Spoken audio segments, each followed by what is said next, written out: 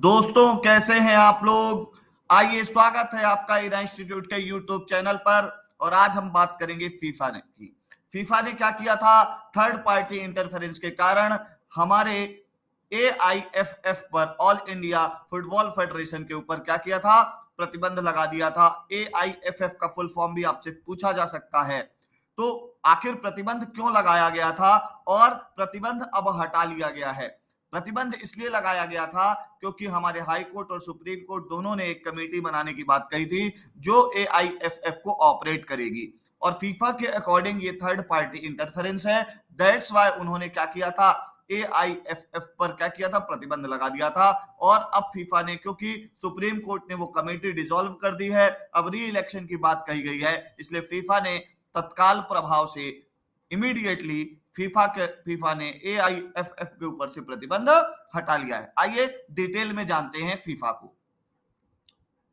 अगली बात यह है कि ऑल इंडिया अंतरराष्ट्रीय फुटबॉल निकाय फीफा ने थर्ड पार्टी इंटरफेरेंस के कारण अखिल भारतीय फुटबॉल महासंघ A I F F all India football federation को प्रतिबंधित कर दिया था। ठीक है? जो मैंने आपको बता दिया।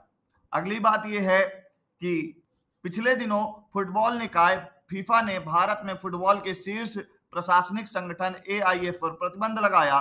इन प्रतिबंध का अर्थ था कि भारत में कोई राष्ट्र स्तरीय टीम भी अंतरराष्ट्रीय फुटबॉल मैच में हिस्सा नहीं ले सकती। बात क्या थी? कंटेक्स्ट क्या था? हमारे यहाँ अक्टूबर के अंदर under 17 women's football world cup organized होना है। और अगर फीफा हमें क्या करता है? ध्यान रखिएगा, निलंबित कर देता है तो क्या होगा? सस्पेंड कर देता है तो हमारे यहाँ फीफा वर्ल्ड कप का आयोजन नहीं हो सकता था। अब क्योंकि क्या हुआ है? सस्पेंशन वापस ले लिया है फीफा ने। इसलिए अब क्या है? जो भी सेंक्शन लगाए थे वापस ले लिया गया है, इसलिए अंडर 17 फुटबॉल वर्ल्ड कप अब इंडिया के अंदर होगा वुमेन्स का। आइए आपको मैं बताता हूँ, क्या कोई फीफा का और टूर्नामेंट भारत के अंदर हुआ है या नहीं। ये बताने से पहले आपको मैं ए आई आई एफ़ ए के बारे में बता देता हूँ। स्टेब्लिश इन 1937 और इंडिपेंडेंट बॉडी के रूप में वर्किंग स्टार्ट की थी। 1948 में इसलिए फीफा की इसको मान्यता मिली। हेडक्वार्टर इज़ इन नई दिल्ली। ध्यान रखिएगा A I F A I F F is establish in 1937 and FIFA की मान्यता कब मिली? 1948 के अंदर। Recognized by FIFA in 1948 headquarter is in new Delhi आइए अगली बात करते हैं।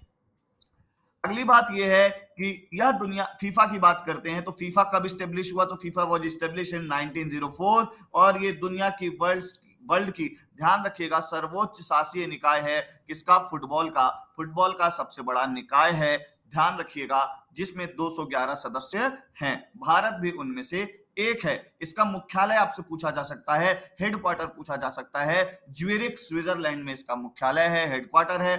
आपको यह भी पता होना चाहिए कि ज्यूरिक स्विट्जरलैंड के अंदर आता है। फीफा का जो अगला वर्ल्ड कप है, वो कतर के अंदर होना है। 2022 के अंदर ही इसका आयोजन सुनिश्चित किया गया है। मतलब 2022 के अंदर आपको फीफा का एक वर्ल्ड कप भी देखने को मिलेगा कतर के अंदर। अब बात करते हैं, इंडिया के अंदर फीफा का और कोई टूर्नामेंट हुआ है? तो ध्यान रखिएगा अंडर 17 फुटबॉल मेंस का वर्ल्ड कप 2017 के अंदर भारत में हुआ था। भारत में ऐसा पहली बार 2017 में हुआ था। ध्यान रखिएगा, जब under 17 football world cup India में आयोजित हुआ और भारत ने पहली बार किसी फीफा टूर्नामेंट के अंदर पार्टिसिपेट किया और भारत ने इसके लिए क्वालिफाई नहीं किया था।